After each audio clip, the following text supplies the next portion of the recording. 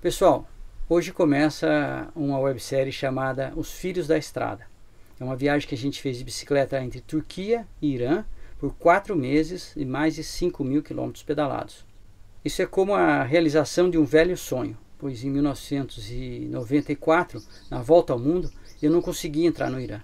E isso ficou martelando na minha cabeça até que dessa vez a gente conseguiu ir para lá, né, Rafa? Uhum. Bom, eu nunca tinha pensado em viajar por essa região, mas depois de conhecer algumas pessoas que tinham viajado por lá, é, esse sonho foi amadurecendo em mim também e ficou só essa expectativa de como seria uma mulher viajando em países islâmicos. Para quem é novo no canal, não esquece de se inscrever, porque são 16 capítulos, tá? Aí você não perde nenhum deles. E se você gostou, dê o seu like. E se puder, claro, compartilha com o pessoal aí, né? Obrigada.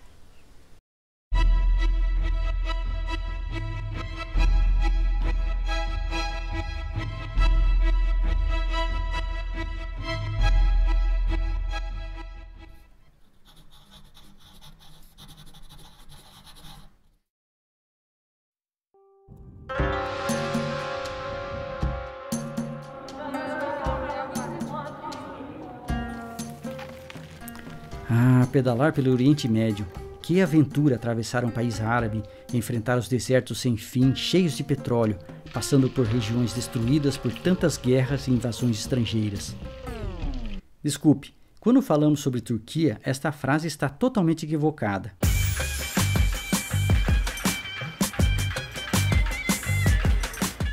Não há desertos em seu território, que por sinal começa na Europa e nunca foi invadido desde a sua criação após a Primeira Guerra Mundial. A Turquia não é autossuficiente em petróleo. E o mais importante, turco não é árabe. Os turcos vieram da Ásia Central e falam turco, que é uma língua que não compartilha nem o mesmo tronco linguístico do árabe. Bom, mas vamos começar logo a viagem, que no caminho a bicicleta vai explicando melhor as coisas.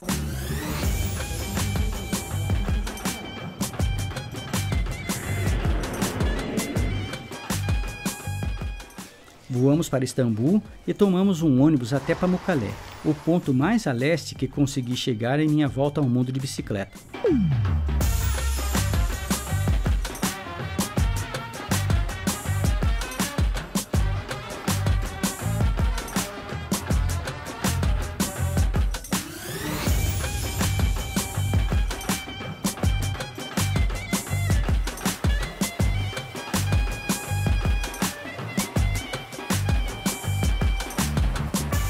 A maioria dos turistas que vêm para cá são turcos, mas estas águas termais são apreciadas desde a antiguidade clássica.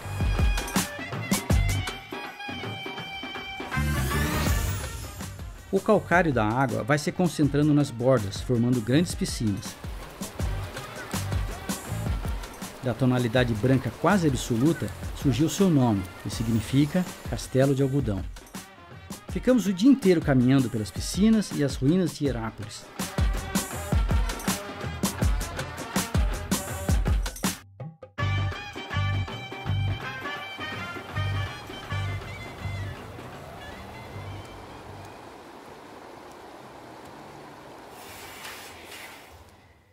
Dessa vez a gente se deu mal no transporte da bicicleta, né, Rafa?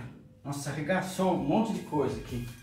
É, o quick release da roda traseira da Rafa tem que ser trocado. Arrebentou mesmo. O meu só entortou e esse, esse disco da frente entortou feio, né? Agora que a gente tá aqui em Pamucalé, preparando para sair, eu tentar ver o que eu consigo fazer. Para montar a bicicleta na própria rodoviária, tivemos que desentortar os discos com a mão e comprar um quick release para a bicicleta da Rafa. Isto foi suficiente para fazer os 20 km até a pousada. Mais tranquilo, arrumei os discos lentamente, usando as pastilhas de freio como gabarito, da mesma forma que faria se utilizasse freio V-brake e tivesse torcido o aro. Ainda na pousada, tivemos a primeira lição de nossa viagem. I'm Sophia. I'm from Thailand. And today I will do Hijab. hijab. Start.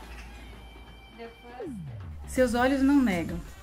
Sofia é uma tailandesa visitando a Turquia. Ela não é budista como a maioria em seu país. Sua família vive no sul da Tailândia, que está ao lado da Malásia, que por sua vez tem maioria islâmica. O Islã é uma religião fundada por Maomé, um membro do povo árabe que viveu no século 7 depois de Cristo. Ou seja, uma pessoa pode ser muçulmana e não ser árabe, e pode ser árabe e não ser muçulmana, como os muitos sírios e libaneses que vivem no Brasil e são cristãos. O encontro com Sofia nos fez lembrar que o islamismo é a segunda maior religião do mundo e se espalha desde Marrocos até a Malásia e Indonésia.